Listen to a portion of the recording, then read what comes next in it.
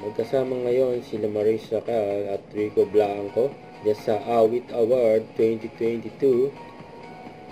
Yan magkasama yung dalawa. Dyan sa event kung saan nanalo din si Maris Best Regional Recording for Asa naman. Ayan o, tinawag na si Maris. Tinanggal na yung jacket. May ko, kay Maris. And congrats kay Maris. The best regional recording. Oh my God, wait, ang lamig. Di ba kayo nilalamig? um, anyway, uh, grabe, thank you. At dahil sa category, magbibisaya ako ah. Um, daghan kayong salamat. Dako kaayo ni sa ako ah. Um, kaning asa naman nabuo ni siya kay na jud ko kay Rico na di gusto ko magsulat og Bisaya na song kay gusto na ako ma-empower ang mga Bisaya. So nabuo ang asa naman and he wrote it with me.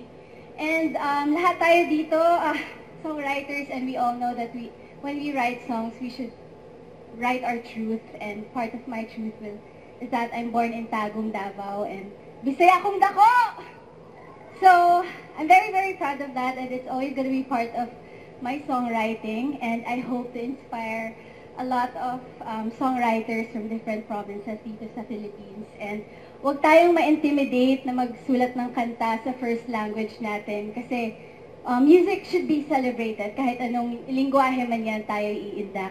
Tama. Um, thank you, thank you Sony Music. Maraming maraming salamat Balcony Entertainment, kay Miss Ina, kay Marco, and of course, I have to thank Rico Blanco Yeah. for um, Iyawan ah, tao doon. madaming bagay and for being my rock in making this album, Ate Sandali, and of course, the song Asa naman. Maraming maraming salamat, Awit Awards. Daghan kaayong salamat. You made my Bisaya heart happy. Thank you! Congrats. Asa naman!